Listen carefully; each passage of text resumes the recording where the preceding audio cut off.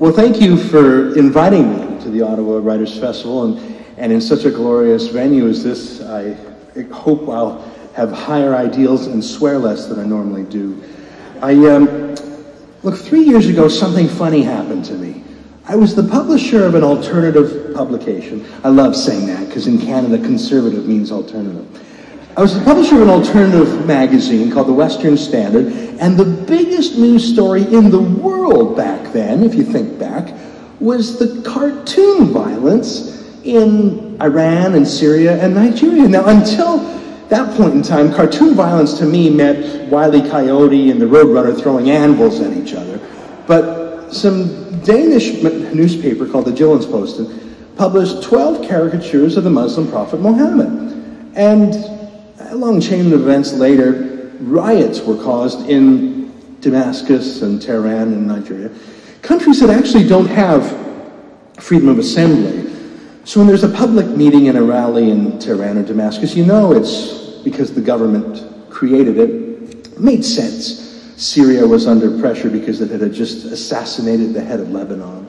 Iran was starting its nuclear program. What better way than to switch the channel diplomatically and have an external enemy? That's sort of dictatorship 101, isn't it? Have an external foe. But what was, it was fascinating, these riots, and even more fascinating was that they were about cartoons, inanimate objects. And I don't know if you've taken the time to look on the internet, because frankly, unless you were a Western Standard subscriber, the internet would be the only place you'd find them in Canada. If you looked at them, they wouldn't be particularly spicier than anything you'd see on a given day on the editorial pages of the Ottawa Citizen or the Ottawa Sun.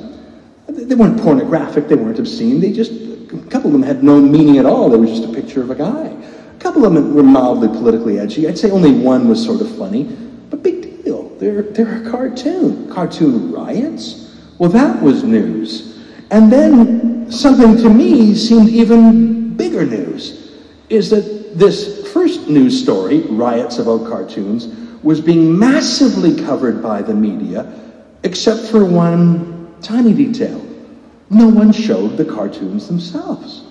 Now, this is new. If you go to cbc.ca and type in the word blasphemy, as I did, you will see many stories about religiously offensive material that are always illustrated. You can see what the blasphemous item is. That's how our secular media in our secular pluralistic society covers things. We don't obey the Vatican or uh, a rabbi or a priest. We show the news, and if you are offended by it, so don't go watch the Da Vinci Code. So if you don't like jokes about Scientology, don't watch late night TV. If you don't like jokes about Jews, don't watch Woody Allen or Jerry Seinfeld. I mean, we learn to turn the channel. We generally ignore things. If we're particularly mad about something offensive, we'll write a letter to the editor or whatnot. But since when did the Western media self-censor when it comes to religion? That was a pretty big story. I'd say bigger even than the first two. Bigger than the cartoons, which weren't a story in my mind. Bigger than the cartoon riots, which were a story. Bigger yet was the fact that the media was self-censoring and their fibs about why they were doing it. I know why they were. I know why they were self-censoring. They were afraid.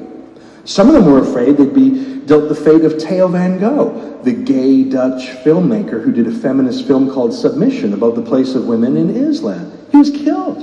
Who wants that? If you want to stand up and fight for freedom of speech, if you're the Oscar night, if you're Richard Gere and you want to talk about fighting the power, well, I guess you could stand up for Theo van Gogh. That's a little risky. Why not fight the power and take on George Bush to show how brave you are? Okay. But my point is, all the folks who generally don't have any respect for religion claim they were not publishing the cartoons out of respect. But we know that the media in general is secular, and in general is left-wing, especially on issues, say, of sexuality, abortion on demand, feminism, gay rights, things that are anathema to radical Islam. The kind of Sharia law that would cause these cartoons to be banned is so conservative on sexual issues, it makes Stephen Harper look like Liberace. But yet, all of a sudden, the Toronto Star didn't want to disrespect religion. It was a new moment for them. Look, I understand why they didn't want to publish the cartoons. Besides violence or property damage, which happened in other countries, and who knows, it might have happened here. There was the hassle. Maybe they'd lose subscribers. Maybe they'd lose an advertiser.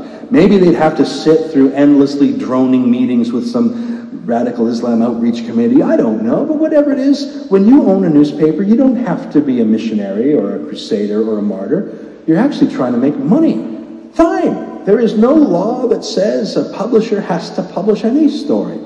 What irritated me a little bit is that their excuses said they were uh, for any reason other than being afraid, which I thought was a fib.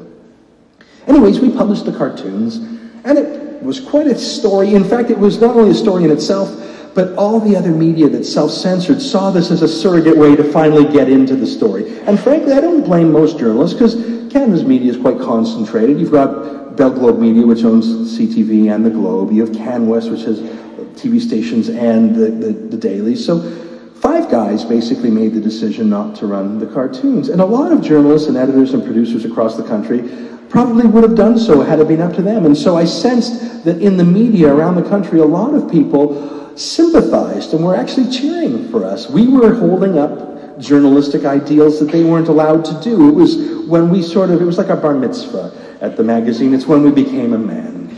And but one fellow who's not into bar mitzvahs much was Syed Soharwardy. He was born in Pakistan, schooled in the madrasas, does the Saudi anti-Semitic lecture circuit, believes Canada should live under Sharia law. He went on the radio with me on the morning of February 13th, 2006, and we debated the cartoons. I don't think he'd even seen them at that point, but either way, it's a strange thing. To argue against cartoons you haven't seen is strange, or to see cartoons and you're allowed to see them, but you don't want anyone else to see them. That's an odd thing, too. We debated for about half an hour on CBC, lots of blah, blah, blah, argy bargy. I went on to my next blah, blah, blah, but he had never been spoken back to this way before, especially by a Jew. And so he went directly to the Calgary Police Service and said, Arrest that man. He did. And the Calgary Police Service were very, very polite.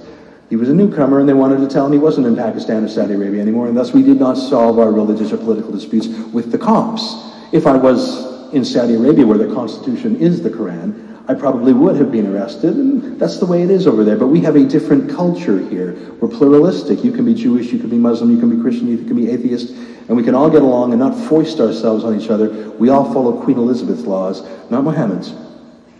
So the police said no thanks. But he shopped his grievance around town until he found the one group so illiberal that they took his complaint and ran with it. I'm talking about a government agency called the Alberta Human Rights Commission. Tax dollars. They put 15 government bureaucrats and lawyers on my file for 900 days. If you watch CSI Miami, you know that Horatio Caine doesn't even have 15 people working for him in his major crimes department.